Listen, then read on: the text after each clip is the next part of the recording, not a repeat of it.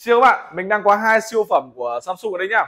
Đó bây giờ đang rất là rẻ rồi. Note 20 Ultra. Đó đây là toàn những siêu phẩm dùng được bút đấy. Có bút đấy Note 20 Ultra này. Bây giờ giá ấy, chỉ có hơn 9 triệu thôi. Đó hơn 9 triệu dùng hai sim nhá phiên bản của Mỹ này. Còn đây là S2 Ultra này thực ra nó chỉ chỉ là con Note thôi nhưng thay đổi. Bây giờ gọi là S2 Ultra đi. Thì uh, giá của nó chỉ có hơn 13 triệu thôi. Đó ngon như nào các bạn vào đây mình cho xem nhá. Đây các bạn này chiếc Note 20 Ultra hay là 2 S2 Ultra thì nó cũng tương tự nhau thôi. Kích thước nó bằng nhau khác mỗi cục camera và cái màu nó hơi uh, sẫm sẫm một chút đó. đó máy ở bên mình thì toàn nguyên zin và đẹp như này nhá. Toàn nguyên zin và đẹp như này thôi. Đây là chiếc S22 Ultra và Note 20 Ultra đến thị trường Mỹ bên mình đang bán rất là rẻ thôi. Quên mất không sạc pin rồi để chiếc máy này pin thấp quá. Đó các bạn có thể nhìn thấy nhá. Đây chúng ta có thể có thể dùng hai sim. Đây các bạn này. Đó nó sẽ có hai email này. Chúng ta có thể dùng hai sim nhá. Đó ROM quốc tế hết rồi chúng ta sẽ không có một ứng dụng nhà bạn nào cả mà không có một hạn chế gì luôn. Đây các bạn nhìn thấy nhá.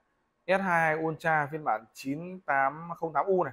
U là phiên bản của thị trường Mỹ và chúng ta có hai máy đây, nhưng một cái sim ấy, chúng ta sẽ phải dùng eSIM nhá. Tương tự những chiếc iPhone, có nghĩa là chúng ta sẽ lắp một sim cứng và một sim ấy, thì chúng ta có thể ra nhà mạng để chúng ta kích hoạt lên. Đó, là dùng hai sim. Chiếc máy S2 Note 20 Ultra này cũng thế này.